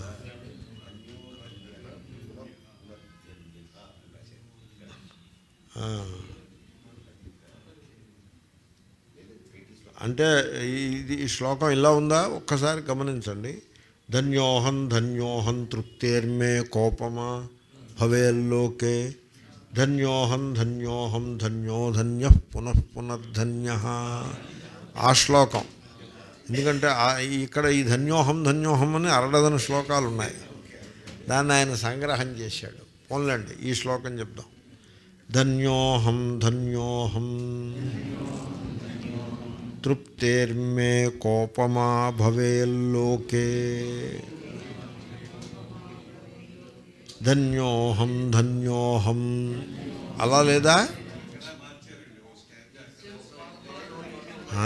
అలాగా. ఓకే. అదిను కిందది ఇదిను. అలా మార్చారు. అలా కూడా చేస్తారు. సంగ్రహంలో అలా కూడా చేస్తారు. అర్థమైంది నాకు. ఇప్పుడు మళ్ళీ చెప్పండి. ధన్యోహం ధన్యోహం నిత్యం స్వాత్మానమంజసా వేద్మి ధన్యోహం ధన్యోహం ధన్యో ధన్య పునః పునర్ధన్య అది అలా ఉంటాడు జ్ఞాని. జ్ఞాని యొక్క అచేతన ఆ విధంగా ఉంటుంది. ఈ మాట వినండి. మీరు ఇది వింటే మీకు తెలిసిపోతుంది. ఆ జ్ఞాని ఎలా ఉంటాడో. ఆయన రా రామతీర్థ అంటున్నాడు. I am without form without limit నాకు లిమిటే లేదన్నాడు. బియాండ్ స్పేస్ బియాండ్ టైం నాకు నాకు స్పేస్ నాకు హద్దు కాదు. టైం నాకు హద్దు కాదు. చూడండి ఆ మాటలు ఎలా ఉన్నాయి. అంటే మరి జ్ఞాని ఇలా మాట్లాడతాడని ధన్యోహం ధన్యోహం అన్నట్టుగానే ఉందిగా? I'm in everything everything is in me I'm the bliss of the universe everywhere am I I'm existence absolute knowledge absolute bliss absolute I'm that I'm that అని. ద్వైతంలో ఎలా ఉంటుందో తెలుసునండి నేను దాసుడను దాసుడను దాసుడను దాసుడను అను. అంటే మీరు ఎంత దాసుడైతే అంత ఎక్కువ భక్తి. అయితే వీడు దేవాలయంలో విగ్రహం ముందు దాసుడు అని అంటాడు తప్ప బయటకు వచ్చి దాసుడు అని అన్నాడు బయటకు వచ్చి నేనే మునగాడిని అంటాడు. విగ్రహం ముందు దాసుడిని దాసుడిని అనేసి వచ్చి బయటకు వచ్చి బాసు బాసుడు అయిపోతాడు. బాగా చెప్పారు. He wants to boss over others they do that they boss over others whereas జ్ఞాని he never bosses over others never అంచేతనే ఈ ఈ ఆశ్రమాల్లోనూ అక్కడ ఈ ద్వైత భక్తులు ఉంటారే వీళ్ళు బాసో బాసింగ్ చేస్తూ ఉంటారు. దేవుడి దగ్గర మటుకు నేను దాసుణ్ణి నేను పాపిని నేను అయోగ్యుణ్ణి అభాగ్యుణ్ణి అంటారు. బయటకు వచ్చి నా అంత మునగాళ్ళేడు అంటారు దేవుడి దగ్గర చాలా వినయం. ఇలా జేవులు కొట్టుకుని ఇలా వంగిపోయి చప్పట్లు చెంపలు కొట్టేసుకుని బయటకు వచ్చేసి కనపడ్డ వాళ్ళందరినీ కూడా డామినేట్ చేస్తూ అబ్యూ అబ్యూస్ చేస్తూ అబ్యూస్ చేస్తారు. They they do abuse also. All kinds of things they do amazing ఏమిటను మరి సంసారం అంటే ఏమిటను? ఆ బృందావనంలో అక్కడ విడోస్ ఉంటారు. ఆ బెంగాల్ నుంచి వచ్చిన widows. They are very old women వాళ్ళకి ఎనిమిది గంటలు వాళ్ళు నామాన్ని జపించాలి. జపిస్తే వాళ్ళకి రెండు పూట్ల రోజుకి పొద్దున్న రెండు రొట్టెలు సాయంకాలం రెండు రొట్టెలు కొద్దిగా దాళ్ళు తర్వాత ఏడాదికి రెండు పంచెలు కట్టుకుందుకు అలాగేదో ఇస్తారు. ఓ డార్మిటరీ లాంటిది పెట్టి దాంట్లో పదిహేను మందిని పెడతారు. వాళ్ళు వచ్చి ఆ హాల్లో కూర్చుని అక్కడ కృష్ణుడు బొమ్మలో అవే ఉంటాయి. ఏదో విగ్రహం కూడా పెడతారు. ఏముంది? విగ్రహం పెట్టడం పెద్ద పనే ఉంది. పెట్టేసి అక్కడ వీళ్ళు నామం చేస్తూ ఉండాలి. ఒక కొఠారి ఉంటాడు దానికి. వాడు టైం టేబుల్ వేసుకుంటాడు. పేరు ఏ పేరు చెప్పు? ఫలానా. ఓకే కూపన్ ఇస్తాడు లోపలికి వెళ్ళిపోయి నామం చేయడం. ఆయన ఎప్పుడు నో పొరపాటునైనా హరే రామ అండవు. ఆ కొఠారీ గారు వీళ్ళందరి పేర్లు రాసుకుని వాళ్ళకి టైం టేబుల్ వేసి అటెండెన్స్ వేసి ఆ అటెండెన్స్ ప్రకారంగా వాళ్ళకి ఇవ్వాల్సింది ఇచ్చి అది ఎవడో దాత దగ్గర నుంచి తెచ్చుకొస్తాడు. ఆయన దాత దగ్గర నుంచి గ్రాంట్ తెచ్చుకుంటాడు. వీళ్ళకి ఇచ్చేది వీళ్ళకి ఇస్తాడు. తన వాటా తనట్టు పెట్టుకుంటాడు. తను కూడా మరి ఏదో జీతమో నాతమో ఏదో కొంత ఉంటుందిగా. అది అట్టి పెట్టుకుంటాడు వాళ్ళకి ఇచ్చేది వాళ్ళకి ఇస్తాడు స- సక్రమంగానే ఇస్తున్నాడు అనుకోండి. వాట్ ఈజ్ హీజ్ డ్యూటీ వీళ్ళందరి చేత రామనామం చెప్పించడం నాకు ఇంత దాకా అర్థం కానిది ఒకటి ఉంది. మీరు చెప్తే నేను తెలుసుకుందుకు సిద్ధంగా ఉన్నాను. మీరు ఎవరైనా పెద్దలు అనుభవజ్ఞులు మీరు చెప్తే నేను తెలుసుకుంటా. నాకు అర్థం కానిది ఏమిటంటే వీళ్ళందరి చేత రామనామం చెప్పించి వాళ్ళకేవో చిన్న చిన్న కూలీ ఇచ్చినట్టుగా ఇవ్వడం కంటే వీడు ఈ జంఝాటం పక్కన పెట్టేసి వీడు చెప్పొచ్చుగా రామనామాన్ని? వీడు చేయొచ్చు కదా? ఇప్పుడు ఎనిమిది గంటలు చేయక్కర్లేదు. ఒక అరగంట సేపు ప్రేమ మన ప్రేమ ముదిత మనస్సె Kaho Rama Rama Rama. He could do that himself he doesn't do he bosses over them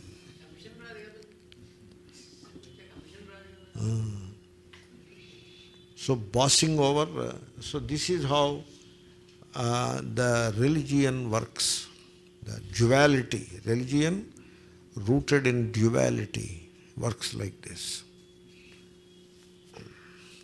ఏ రామనామని రామనామం చెప్పే వాళ్ళు ఉంటారు నామం చెప్పే వాళ్ళు ఉంటారు. వాళ్ళ దగ్గరికి వీడు మైక్ పట్టుకుని వెళ్తాడు ఈ టీవీ ఛానల్ వాడు. వెళ్ళి నీకు కడుపు నిండా భోజనం పెడుతున్నాడా అంటే ఏదో పెట్టినప్పుడు పెడతాడు లేనప్పుడు లేదని వాళ్ళు చెప్తారు. వాళ్ళు అసంతృప్తిగానే ఉంటారు. వాళ్ళు కూడా నాకు భోజనానికి లోటేం లేదని వాళ్ళు పెడుతున్నారు. నేను నామం కూడా చేసుకుంటున్నాను సంతోషంగా చేసుకుంటున్నాను. నాకు ఈ నామం చేయటంలో నాకు ఒక దైవత్వం అనుభవానికి వస్తుంది. వాడు పెట్టి తిండి నాకు సరిపడింది నాకు ఇంతకంటే కోరికలు లేవు అని వాళ్ళు చెప్పరు. అని వాళ్ళు అలా చెప్పచ్చా?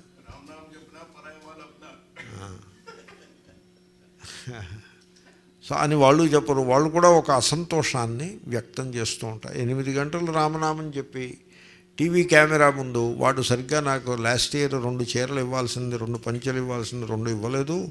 వాడు అట్టే పెట్టేసుకున్నాడు. ఏదో వీళ్ళ అసంతోషం వీళ్ళు వ్యక్తం చేస్తారు. అది సత్యమే అవ్వచ్చు. బట్ మొత్తం మీద ఆ రామనామాన్ని బాసింగ్ ఓవర్ ఆయన చేస్తాడు. వీళ్ళేమో రోజుకి ఎనిమిది గంటలు వీళ్ళు చేస్తారు. అందరూ అసంతృప్తితోటే మిగిలిపోతాడు. ఆ దాత ఎవడో ఉంటాడు. వాడు ఎక్కడో సిటీలో ఉంటాడు. ఎక్కడో ఢిల్లీలోనో లేకపోతే బొంబాయిలోనో ఉంటాడు. వాడు సం బిజినెస్ చేసి డబ్బులు సంపాదిస్తాడు. బిజినెస్ ఇరవై పర్సెంట్ ప్రాఫిట్ తీసుకోవాల్సిన చోట ముప్పై పర్సెంట్ ప్రాఫిట్ లాగుతాడు. గవర్నమెంట్కి వంద రూపాయలు ట్యాక్స్ కట్టాల్సిన చోట పది రూపాయలే కడతాడు. తొంభై రూపాయలు ఏదో ఇటు తిప్పి అటు తిప్పి మిగలేస్తాడు దాంట్లో కొంత డబ్బు ఇక్కడికి ఇస్తాడు. ఆ విధంగా సంపాదించిన అన్యాయార్జనలో ఓ పర్సంటేజ్ వీళ్ళకి పారేస్తాడు. ఆయన గొప్ప దాత. ఆయన పేరు కూడా అక్కడ చెక్కు పెడతారు. ఏమండి ఇదంతా? నా ఆలోచనలో ఏదైనా దోషం ఉందా? నాకు చాలా ఆశ్చర్యం అనిపించింది. రామనామాన్ని మనం చెప్పాలి కానీ ఇంకొకటికి కూలి ఇచ్చి చెప్పించడం ఏమిటి? అసలు what is this I don't understand మనం రామనామం చెప్పేసి ఆ భోజనము ఆ పంచులు వాళ్ళకి ఇచ్చేయటం. దట్ యు డూ అవి నువ్వు అట్టే పెట్టుకోవద్దు వాళ్ళకి ఇచ్చేసేయి. వాళ్ళు రామనామం చెప్పుకుంటారో భీమనామం చెప్పుకుంటారో వాళ్ళు ఏడుపు వాళ్ళు ఏడుస్తారు. నువ్వు రామనామం చెప్పు. ఎనిమిది గంటలు చెప్పకు కనీసం రెండు గంటలు చెప్పు. వీడు కృతార్థుడవుతాడు. కాబట్టి ఇదంతా కూడా కామర్స్ కింద మారిపోతుంది. Religion becomes a commerce like many other kinds of commerce. అంచేతనే ఆ రిలిజియన్ ఎవరిని అప్లిఫ్ట్ చేయకుండా అందరూ సంతోషంతో మిగిలిపోతారు. నేను కొంచెం డైగ్రెస్ అయినట్టు ఉన్నాను. మొత్తానికి ఆ ధన్యోహం ధన్యోహం అంటుంటే నాకు అలా చెప్పాలనిపించింది. కాబట్టి రామ ఆయన రామతీర్థ తన గురించి ఎలా చెప్తాడో చూడండి. ఐఎమ్ వితౌట్ బాడీ అంటాడు ఇంకో శ్లోకంలో పద్యం. I'm without body or change of the body. అంటే పూర్వజన్మ ఉత్తర జన్మ ఇలాంటివి నాకేమీ లేవు. I'm neither senses nor object of the senses గుణాగుణేషు వర్తంతే. I'm existence absolute knowledge absolute bliss absolute I'm that I'm that I'm neither sin nor virtue అంటే పుణ్యపాపములకు అతీలంగా ఉంటాడు. నార్ టెంపుల్ నార్ వర్షిప్ అంటున్నాడు ఆయన. నేను టెంపుల్ కాదు వర్షిప్ కాదు. నార్ పిల్గ్రిమేజ్ నార్ బుక్స్ ఇవన్నీ కూడా కాదు. I'm existence absolute knowledge absolute bliss absolute I'm that I'm that అని అంటాడు. అంటే ఈ జ్ఞాని యొక్క భావ ప్రకటన అందరి మహాత్ములది ఒకే రకంగా ఉంటుందని అనిపిస్తుంది. ఆ పూర్ణత్వము దాంట్లో మనకి ప్రస్ఫుటమవుతూ ఉంటుంది. అలాగే ఇక్కడ కూడా ఈ జ్ఞాని అదే భాషలో మాట్లాడుతున్నాడు. పదచ్ఛేదం. ధన్య అహం ధన్య అహం నిత్యం స్వాత్మానం. అంజసా వేద్మి ధన్య అహం ధన్య అహం ధన్య ధన్య పునః పునః ధన్య అదే. అహం నేను ధన్య ధన్యుడను. అహం నేను ధన్య ధన్యుడను. రెండుసార్లు అలా ఎందుకన్నారంటే ఆదరము అనే అర్థంలో వీప్స. అంటే నేను ధన్యుడను అనే మాటని చాలా ప్రేమగా చెప్తున్నాడు ఆయన. ఆ ప్రేమను ఎలా ప్రకటిస్తాడు? నేను ధన్యుడను. అంటే ప్రేమ సరిపడలేదు ఇంకా. కాబట్టి రెండోసారి నేను ధన్యుడను అని అంటాడు. నిత్యం ఎల్లవేళలా స్వాత్మానం నా స్వరూపమును అంజస సాక్షాత్తుగా వేద్మి తెలియచున్నాను. నేను నా స్వరూపమును సాక్షాత్తుగా తెలుసుకుంటూ ఉన్నాను. సాక్షాత్తుగా.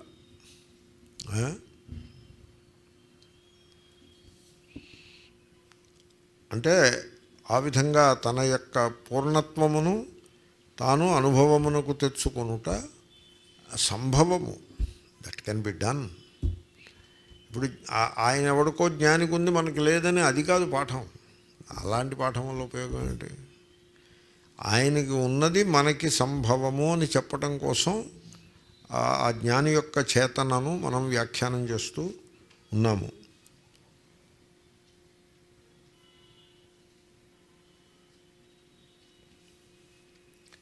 చిన్న మెడిటేషన్ ఒకటి ఉంది. మీరు ట్రై చేయొచ్చు. నిటారుగా కూర్చుండి. కళ్ళను మూసుకుని మెల్లగా అలవోకగా మూసి ఉంచి పెదవులపై చిరునవ్వు వెలయించి శాంతముగా విశ్రాంతిగా కూర్చోవాలి.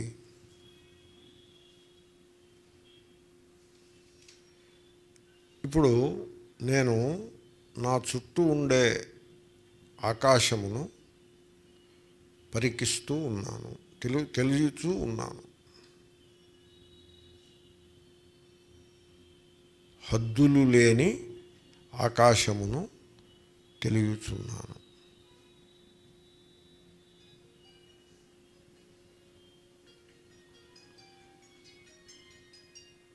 అంటే అభిప్రాయం ఏమంటే నామరూపములకు అతీతంగా ఎరుకనై ఉన్నాను అని అర్థం. ఆకాశమును తెలియచున్నాను. ఆకాశము నామరూపములు లేనిది గనుక ఆకారము లేనిది గనుక ఎప్పుడైతే నేను ఆకాశమును తెలుసుకుంటూ ఉన్నానో ఆ ఎరుక నామరూపములకు అతీతముగా భాషిస్తూ ఉన్నది. చుట్టూ ఉన్న ఆకాశమును తెలుసుకుంటూ ఉన్నాను.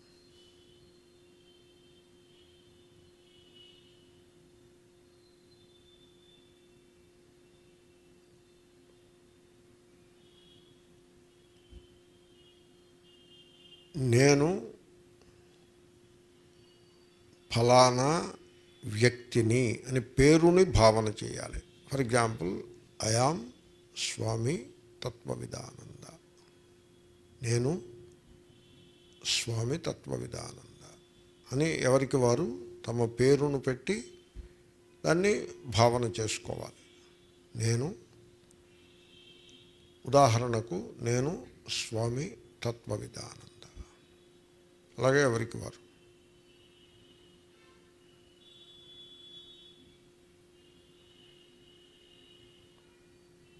ఇప్పుడు గతములో నేను పొందిన దుఃఖములను సుఖములను గుర్తు చేసుకోవాలి.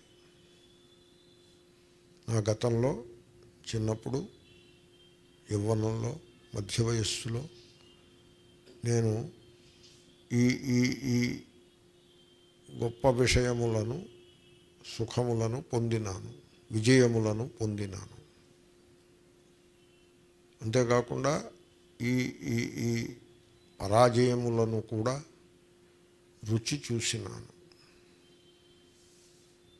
ఇవన్నీ నా స్మృతి ఎందు మెమరీ ఎందు నిక్షిప్తములై ఉన్నవి. నేను స్వామి తత్వవిధానంద. అలా ఎవరి పేరు వారు?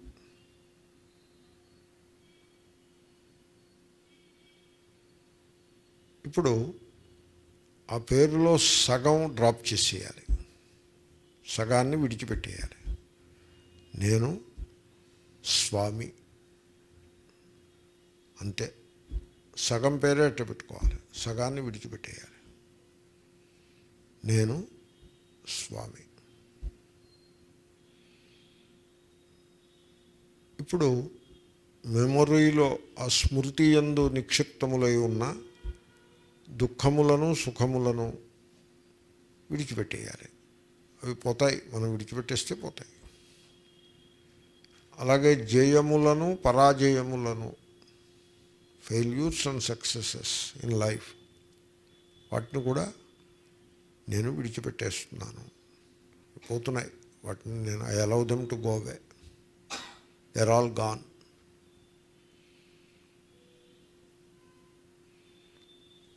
ఇప్పుడు ఆ పేరులో సగం మిగిలింది కదా దాన్ని కూడా విడిచిపెట్టేయటం. అంటే ఇప్పుడు కేవలము ఐ యామ్ మిగిలి ఉంటుంది అంతే ఉంటుంది. ఐ యామ్ అహం అస్మి అంతే ఉంటుంది. అహం అస్మి.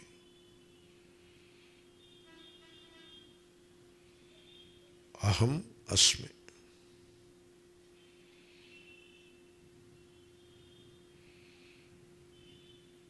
ఇప్పుడు ఆ అహం కూడా జారిపోతుంది.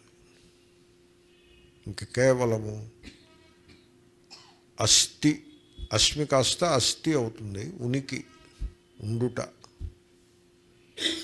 ఉండుట.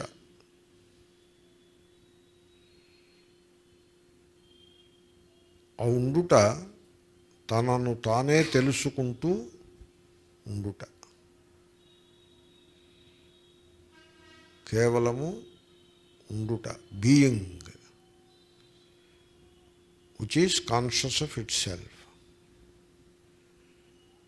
the being which is conscious of itself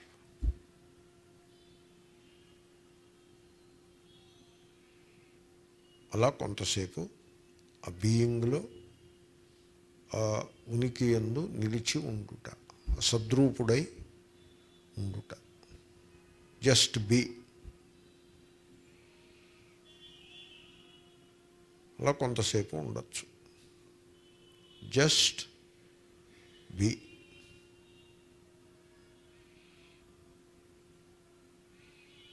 ఎవరికి వారు గుర్తు చేసుకుంటూ ఎవరికి వారు సంబోధించుకుంటూ జస్ట్ బి అనుకుంటూ అలా ఉండడం. అప్పుడప్పుడు అనుకుంటాం. జస్ట్ బి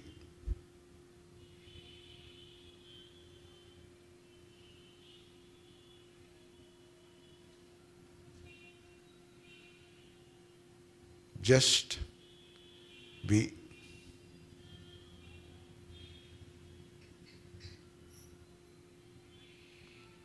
ఇప్పుడు విశ్రాంతిగా కూర్చుండి మెల్లగా కన్నులను తెరువవలెను.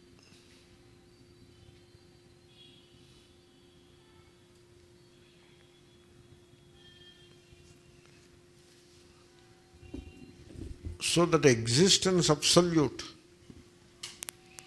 knowledge absolute which is bliss absolute it is you here and now ఎప్పుడో ఎక్కడో కాదు ఇప్పుడు ఇక్కడ అది నేను అయి ఉన్నాను. అయితే మనకి ప్రారంభం ఎక్కడ వస్తుంది? మెమొరీని పట్టుకుని వెళ్ళాడుతూ ఉంటాం మనం. ఆ మెమరీలో సుఖములు దుఃఖములు విజయములు అపజయములు పుణ్యములు పాపములు ఇవన్నీ మూట ఈ ద్వంద్వాలన్నీ ఉంటాయి దాంట్లో. అవన్నీ నావి నేను. దాంతో ఒక పర్సనాలిటీ ఆ మెమరీ ఏం చేస్తుంది? ఒక పర్సనాలిటీని తయారు చేసి పెడుతుంది. పర్సనాలిటీని తయారు చేస్తుంది. ఇప్పుడు వడ అంటారు. వడ అంటే ఏమిటండి? వడ అంటే వడ అంటూ ఏమైనా ఉందా ఒకటి? ఆ పిండి ముద్దని దానికి ఒక ఆకారం పెట్టి మధ్యలో చిల్లు పెడితే అది వడ అయింది. మధ్యలో చిల్లు పెట్టకపోతే బో బూందియో బోండియో ఏదో అవుతుంది. ఏదో దాన్ని ఏదో అంటారు దాన్ని. ఊరికే అంతేగా అలాగే ఆ మెమొరీలో ఉండే సామగ్రి అంతా పోగేసుకుంటే ఓ పర్సనాలిటీ వస్తుంది. ఆ పర్సనాలిటీకి ఓ దేహము కూడా అటాచ్ అయి ఉంటుంది. ఎందుకంటే మెమొరీ దేహం లేదే మెమొరీ ఉండదు. దేహం కూడా అటాచ్ అయి ఉంటుంది ఓ పర్సనాలిటీకి. సో ఆ పర్సనాలిటీయే దానికి ఒక పేరు పెట్టుకుంటాడు. పెట్టుకుని అది నేను అనుకుని బతుకుతూ ఉంటాడు. అది నువ్వు కాదురా బాబు. అంచేతనే అది నేను అని వీడు యాత్ర మొదలు పెడతాడు. దేహ దేహం యొక్క ఆకారముతోటి మొదలు పెడతాడు. కాబట్టి మీరు ఆకాశమును కొంతసేపు ధ్యానం చేస్తే ఈ ఆకారం పిచ్చిపోతుంది. ఆ తర్వాత ఆ మెమొరీని కొంచెం ముందుకు లాగి దాంట్లో దాన్ని కొంచెం పైకి లాగి అది అలాగే నిక్షిప్తంగా ఉంటుంది వాసనారూపంగా. ఆ వాసనలను కొంచెం పైకి లాగితే దాన్ని అన్రావెల్ చేయొచ్చు. లాగి ఆ జయ పరాజయములను సుఖదుఖములను కొంత మనస్సుకు తెచ్చుకుని నెమరు వేసుకుని ఆ పేరు దానికి పెట్టుకుని ఇగో ఇది నేనై ఉన్నాను అని తన అజ్ఞానావస్థను తాను పరికించి చూసుకుని ఎందుకే అజ్ఞానం ఇలాంటి పెట్టుకోవడం అని దాన్ని వదులుకుంటూ క్రమక్రమంగా స్టెప్ బై స్టెప్ దాన్ని వదిలిపెట్టేసి పోతే ప్యూర్ అయాం మిగులుతుంది. Pure I am is the window to the brahmanhood. కాబట్టి అయామ్ కూడా డ్రాప్ అయిపోయి శుద్ధ చైతన్య రూపంగా మనిషి నిలిచి ఉంటాడు. వాడే ధన్యుడు. అర్థమైందండి మెడిటేషన్? ఇది మీరు ఎప్పుడైనా చేయొచ్చు. దీనికోసం పొద్దున్న సూర్యోదయమో అలాగేం అక్కర్లా. అలా ఆరంభంలో అలా చెప్తారు. ఆ టైం మీకు అనుకూలంగా ఉంటుంది కనుక అలా చెప్తారు. ఆరంభంలో. సాయంకాలం చేస్తే మెడిటేషన్ ఒకప్పుడు వర్కౌట్ అవుతుంది ఒకప్పుడు వర్కౌట్ కాదు. నేను ఇప్పుడు నా కేసు చూడండి ఆవలింతలు ఆవలిస్తూ నేను బిట్ టైర్డ్గా ఫీల్ అవుతున్నా. ఇప్పుడు ఇంకేదో అయినంత అవుతుంది లేనంత లేదు. అదే మార్నింగ్ అయితే కొంచెం ఫ్రెష్గా ఉంటుంది. అందుకోసం అలా అన్నారు తప్ప ఏ టైంలోనైనా కూడా ధ్యానం చేయవచ్చును. తన స్వరూపాన్ని తాను పరికించి తెలుసుకునుటయే. It is all very simple it is all very simple అంచేతనే ఆ జ్ఞాని తన స్వరూపాన్ని ఆ విధంగా చెప్తున్నాడు. నేను నా స్వరూపాన్ని నిరంతరము తెలుసుకుంటూ ఉన్నాను అంటున్నాడు. అహం నేను ధన్య ధన్యుడను. పునః పునః మళ్ళా మళ్ళా ధన్య ధన్యుడను. అది శ్లోకం. ఓకే? ధన్యోహం ధన్యోహం నిత్యం స్వాత్మానమంజసా వేద్మి. ధన్యోహం ధన్యోహం బ్రహ్మానంద నో ధన్యో ధన్య పునః పునర్ధన్య అహో పుణ్యమహో పుణ్యం ఫలితం ఫలితం దృఢం అస్య పుణ్యస్య సంపత్తే అహో వయం అహో వయం. ఏమంటే ఇప్పుడు చూడండి మీరు. మీరు బయట నీళ్ళు ఉంటాయి ప్రవహిస్తూ ఉంటాయి. దానికి గంగా అని పేరు. అంతే కదండి. పేరు ఎవరో పెట్టుంటారు కదా. బయట ప్రవహించే నీళ్ళకి గంగా అని ఎవరో పేరు పెట్టారు. ఇప్పుడు ఒక ఆయన గోశాల పెట్టారు.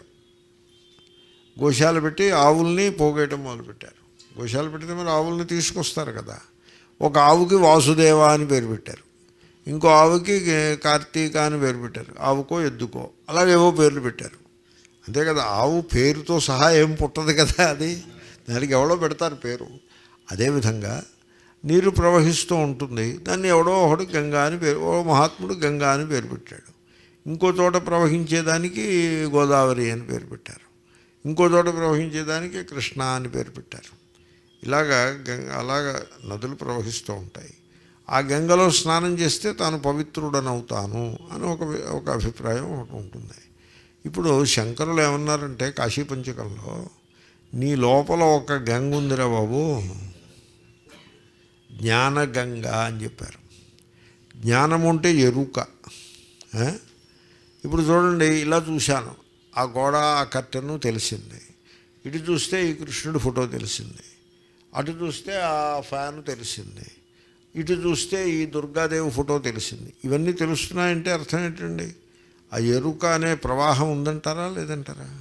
ఆ ఎరుక అనే ప్రవాహం అలా ప్రవహిస్తూ ఉండబట్టి ఒక ఫస్ట్ సెకండ్లో ఆ రామకృష్ణ పరమహంస తెలిసారు టెన్త్ సెకండ్లో కృష్ణుడు తెలిసారు ట్వంటీ ఎయిత్ సెకండ్లో దుర్గ తెలిసింది. ఆ ఎరుక ప్రవాహంలో తెలిసారు వీళ్ళందరూ మీకు మొత్తం జాగ్రత్త అవస్థ అంతా కూడా ఎరుక ప్రవాహంలో తెలుస్తూ ఉంటాయి. అన్ని అనుభవాలు ఆ ఎరుక ఎందే ఆ ప్రవాహం నుందే కలుగుతూ ఉంటాయి.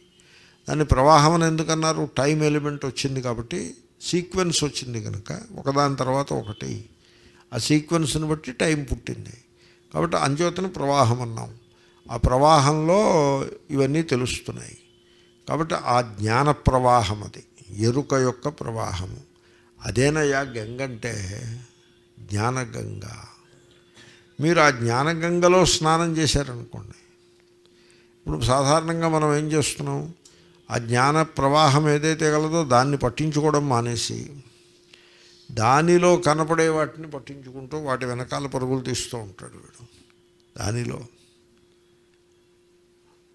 నేను ఈవేళ నేను ఆశ్చర్యపోయాను. నేను అప్పట్లో మీకు ఒక కథ చెప్పాను. ఒకడు తన చెవులు కాకెత్తుకుపోయిందని కర్రపుచ్చుకు బయలుదేరని కథ చెప్పాను. ఈవేళ నరేంద్ర మోడీ గారు చెప్పారు ఆ కథ.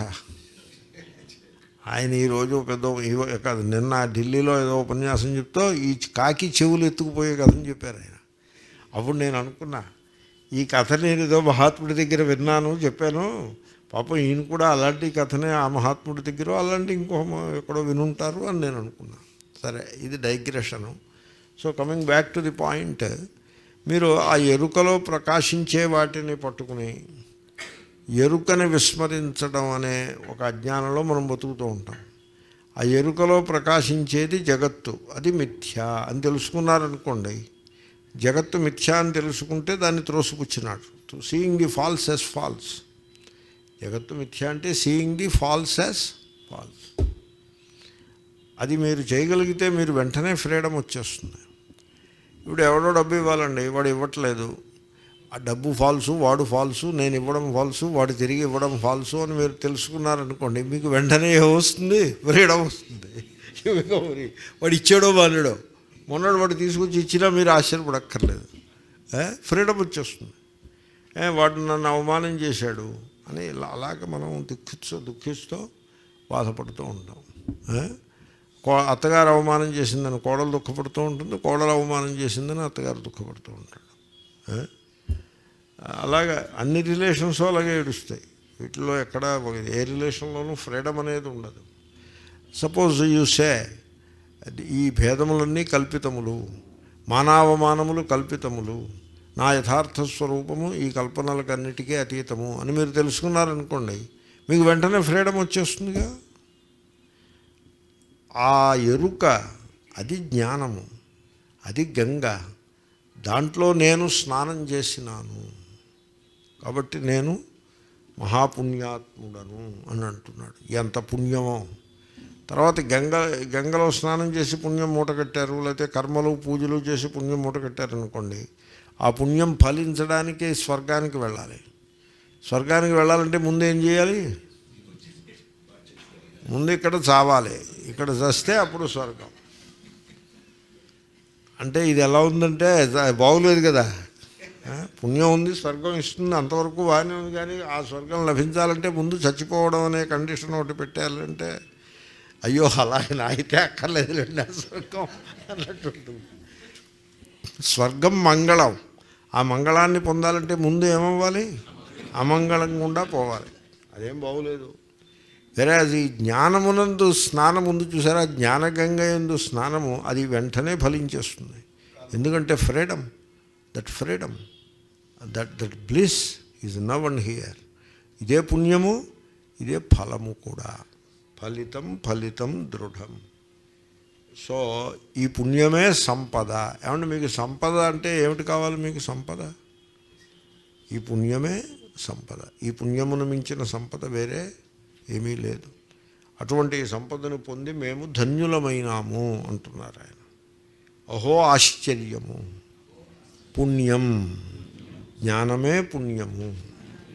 అహో పుణ్యం. ఫలితం. ఆ పుణ్యము ఫలించినది. దృఢం ఫలితం. చాలా గట్టిగా ఫలించినది. అంటే పుణ్యం చేస్తుండగానే ఫలం కూడా వచ్చేస్తుంది. ఇంకా మళ్ళీ కాలం గ్యాప్ ఏమీ లేదనమాట అస్యా ఈ పుణ్యస్య పుణ్యము యొక్క అంటే జ్ఞానమనే పుణ్యము యొక్క సంపత్తే. సంపద వలన వయం మేము అహో చాలా గొప్పవారము వయం మేము అహో చాలా ధన్యులము. తన యొక్క మహిమను ఆ దైవత్వమే నేను ఐఎమ్ ఐఎమ్ శివోహం శివోహం అని తన యొక్క మహిమను జ్ఞాని తానే ప్రకటిస్తూ ఉన్నాడు. అది శ్లోకం. అహో పుణ్యమహో పుణ్యం.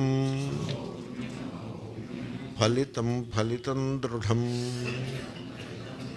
అస్య పుణ్యస్య సంపత్తే. అహో వయం అహో వయం ఇంకా రెండు శ్లోకాలు మిగిలాయి. ఈ రెండు శ్లోకాలు మళ్ళీ క్లాస్లో అయిపోతాయి. కాబట్టి మీరు నెక్స్ట్ క్లాస్ నెక్స్ట్ పంచదశి క్లాస్కి ఏదైనా క్వశ్చన్స్ ఏమైనా ఉంటే రాసి తీసుకురండి. ఎందుకంటే రెండు శ్లోకాలు అరగంట అయ్యేప్పటికి అయిపోతాయి. ఆ మిగిలిన టైంని క్వశ్చన్ ఆన్సర్ సెషన్ కింద పెట్టుకుందాము. అది వెన్స్డే దశలోకి కదా. తర్వాత నేను వచ్చిన తర్వాతనే ఉంటుంది ఈ క్లాసు. కాబట్టి మీరు నెక్స్ట్ పంచదశి క్లాస్లో ఏమైనా క్వశ్చన్స్ రాసి పెట్టుకుంటే నేను ఆన్సర్ చేస్తాను. ఎందుకంటే సగం క్లాస్ అయ్యాక మళ్ళీ ఇంకో కొత్త సెక్షన్ ఏం మొదలు పెడతాం. కాబట్టి please be prepared for that. బుధవారం నాడు పంచదశి ద- దశలోకి క్లాసు. ఓం పూర్ణముద పూర్ణమిదం.